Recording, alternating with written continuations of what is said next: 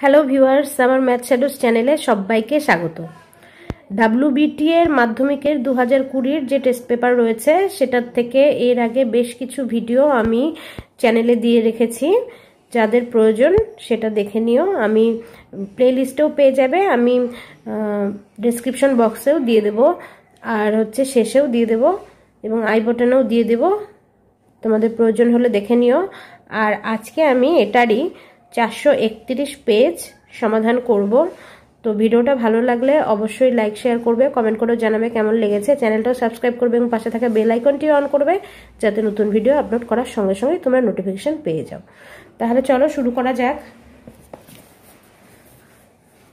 দেখো, চারশো একত্রিশ পেজে রয়েছে রায়গঞ্জ শ্রী শ্রী রামকৃষ্ণ বিদ্যা ভবন। তো এর এক নম্বর প্রশ্নটা দেখো, বার্ষিক আট পার্সেন্ট সরল সুদের হারে কোনো মূলধনের এন বছরে মোট সুদ পিএনআর বাই টোয়েন্টি ফাইভ টাকা হলে মূলধনের পরিমাণ এই চারটে অপশনের মধ্যে কোনটা হবে? তো দেখো, অঙ্কগুলো আমি করে নিয়েছি যাতে ভিডিওটা ছোট হয়, সেই জন্য ফটাফট আমি বুঝিয়ে দিচ্ছি, দেখে নাও।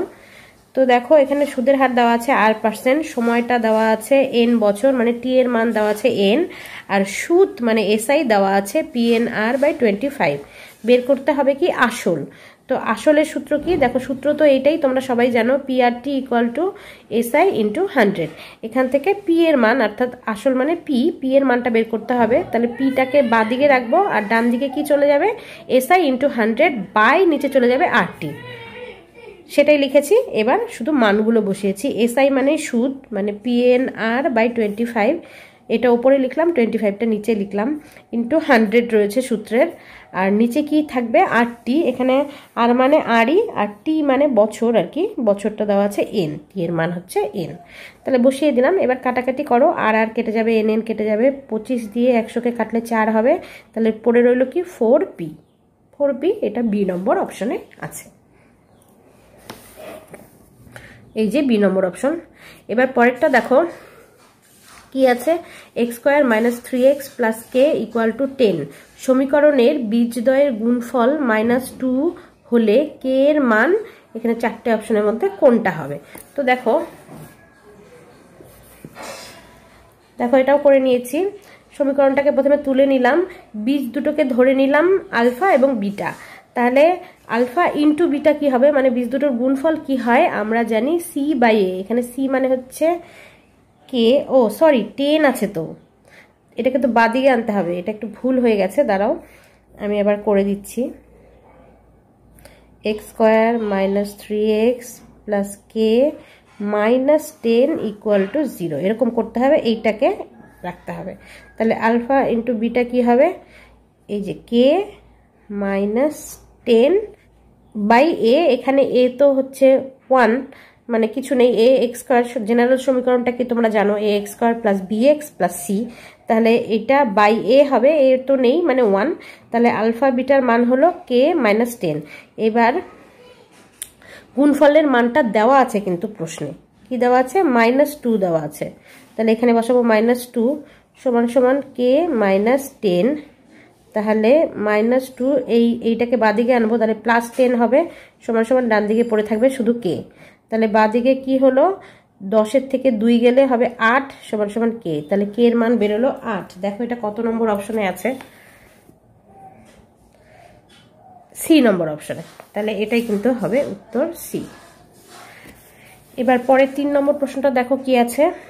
একটি লম্ববৃত্তাকার চোঙের ব্যাসার্ধের দৈর্ঘ্য, অর্ধেক এবং উচ্চতা দ্বিগুণ হলে চোঙটির আয়তন হবে পূর্বের চোঙের আয়তনের সমান না দ্বিগুণ না অর্ধেক না চারগুণ। তাহলে বলেছে ব্যাসার্ধের দৈর্ঘ্য অর্ধেক করা হবে এবং উচ্চতা দ্বিগুণ করা হবে। তো দেখো দেখো এখানে আমি করে নিয়েছি। ব্যাসার্ধ যদি আর হয় এবং উচ্চতা যদি এইচ হয়, তাহলে আয়তন কি হবে? আমরা জানি যে লম্ববৃত্তাকার চোঙের আয়তনের সূত্র হচ্ছে পাই আর স্কোয়ার এইচ তো এটা হবে প্রথমে। এবার প্রশ্ন অনুসারে বলেছে ব্যাসার্ধকে অর্ধেক করা হলো। অর্ধেক মানে আর বাই টু হবে। এবং উচ্চতাকে দ্বিগুণ করা হলো। মানে এইচ ছিল, হয়ে যাবে টু এইচ তাহলে সেক্ষেত্রে আয়তনটা কি হবে দেখো? এই জায়গায় আমরা কি করব? মানটা বসাবো। পাই ইন্টু আর স্কোয়ার আর এর জায়গায় বসাবো আর বাই টু তার হোল স্কোয়ার ইন্টু এইচ মানে হয়ে গেল টু এইচ টু এইচ এককগুলো আর লিখিনি, এটা তো এমসিকিউ তোমরা রাফে করে শুধু উত্তরটা লিখবে, সেজন্য এখানে এককগুলো লিখিনি, কিন্তু এটা যদি এমসিকিউ না হয়ে টু মার্কসের প্রশ্ন হয়, তাহলে কিন্তু এককগুলো তোমাদেরকে লিখতে হবে। আয়তন যেহেতু ঘন একক হবে। আচ্ছা এবার দেখো এটা স্কোয়ার করলে আর স্কোয়ার বাই দুইয়ের স্কোয়ার মানে four into two h. Two আর ফোর কাটলে টু হবে, তাহলে থাকল এখানে কি পড়ে থাকল? নিচে টু পড়ে থাকল মানে উপরে এক, হাফ পড়ে থাকল, ইন্টুর পরে রইল পাই আর স্কোয়ার এইচ। এই দেখো, তাহলে আগে ছিল আয়তন পাই আর স্কোয়ার এইচ, এখন হলো হাফ ইন্টু পাই আর স্কোয়ার এইচ। মানে আগে এটা ছিল, এটা এখন হাফ হয়ে গেল, তার মানে অর্ধেক হয়ে গেল। তাহলে অপশন সিতে আছে অর্ধেক, এটাই হবে উত্তর। আশা করি বুঝতে পেরেছ। এবার পরেরটা দেখো। ও কেন্দ্রীয় বৃত্তের বহিস্থ এ বিন্দু থেকে অঙ্কিত স্পর্শক বৃত্তকে বি বিন্দুতে স্পর্শ করে। O B equal to five semi এও ইকুয়াল টু তেরো সেমি হলে এ বি এর দৈর্ঘ্য কত হবে? তো দেখো। বলেছে, ও কেন্দ্রীয় বৃত্ত, একটা বৃত্ত এঁকে নিলাম, যার কেন্দ্র হচ্ছে ও এবং বহিস্থ একটা বিন্দু এ থেকে এর উপর একটা স্পর্শক টানা হলো, যেই, যে স্পর্শকটা এই বৃত্তটাকে বি বিন্দুতে স্পর্শ করেছে। তাহলে এটা হচ্ছে এ বি, এটাও যুক্ত করে দিলাম, এটাও যুক্ত করে দিলাম। এটার মান দেওয়া আছে ওবির মান মানে ব্যাসার্ধের মান দেওয়া আছে ফাইভ সেমি এইটার মানও দেওয়া আছে কত? তেরো সেমি তাহলে এইটার মান কত? সেটা বের করতে হবে। তো দেখো আমরা জানি এই যে স্পর্শক আর এই যে ব্যাসার্ধ এরা কি হয়? পরস্পর লম্ব হয় মানে এই কোণটা কত হয়? নাইনটি ডিগ্রি হয়। তাহলে লম্ব হলে এখানে পিথাগোরাসের সূত্র অ্যাপ্লাই হবে। পিথাগোরাসের সূত্রটা কি? আমরা জানি যে লম্ব স্কোয়ার প্লাস ভূমি স্কোয়ার ইকুয়াল টু অতিভুজ স্কোয়ার তাহলে অতিভুজ কোনটা অতিভুজ কিন্তু হবে এইটা। কারণ যেটা নাইনটি ডিগ্রি হয় তার বিপরীত বাহুটাই কিন্তু অতিভুজ হয়। তাহলে এটা হবে অতিভুজ। তাহলে এটা স্কোয়ার যোগ এটা স্কোয়ার সমান সমান এটা স্কোয়ার। তাহলে এরকম লিখলাম। এবার দেখো বি এ স্কোয়ার মানে এইটার মানটা বের করতে হবে, সেটাকে বা দিকে রাখলাম, ডান দিকে এটা তো রয়েছে, এইটাকে ডান দিকে নিয়ে গেলাম, তাহলে মাইনাস ও বি স্কোয়ার হলো ও এ স্কোয়ার মানে ও এর মান হচ্ছে তেরো তেরো স্কোয়ার মাইনাস ও বি মানে ফাইভ ফাইভ এ স্কোয়ার, তেরো স্কোয়ার মানে একশো উনসত্তর মাইনাস ফাইভ স্কোয়ার মানে টোয়েন্টি ফাইভ বিয়োগ করলে হবে একশো চুয়াল্লিশ তাহলে বাদিকে বি এ স্কোয়ার আছে, সমান সমান একশো চুয়াল্লিশ, তাহলে বি এ কী হবে? সমান সমান বারো হবে। বারোর স্কোয়ার মানেই হচ্ছে একশো চুয়াল্লিশ স্কোয়ারটা উঠে যাবে, তাহলে বি এ সমান সমান কত হবে? বারো।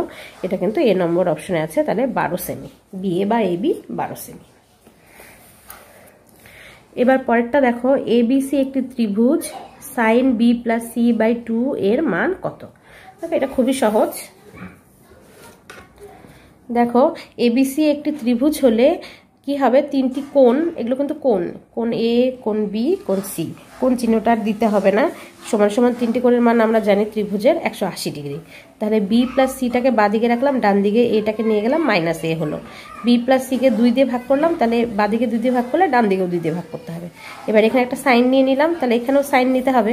এবার দেখো এটাকে আলাদা আলাদা করে ভাগ করে দিয়েছি। মানে একশো আশি ডিগ্রি বাই টু কাটাকাটি করলে কত হবে নব্বই ডিগ্রি। সেই নব্বই ডিগ্রিটাই লিখেছি একবারে মাইনাস এ বাই টু। এবার বাদিকে এটাই থাকল ডান দিকে দেখো, sine ninety degree minus A by two, এটা মানে কি হবে? Cos A by two. এটা তোমরা জানো নিশ্চয়ই। তাহলে cos A by two D number অপশনে আছে। তাহলে এটাই হবে উত্তর। এবার লাস্ট অঙ্কটা দেখো কি আছে। এইগুলোর মান দেওয়া আছে, তথ্যের সংখ্যাগুরু মান যদি পনেরো হয়, তাহলে এক্সের মান কত?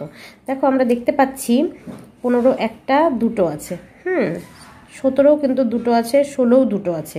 তাহলে সংখ্যাগুরু হতে গেলে কি হয়? সেই সংখ্যাটা বেশি বার থাকতে হয়। তার মানে এক্সের মান যদি ফিফটিনই হয়, তাহলেই ফিফটিন হবে সংখ্যাগুরু মান।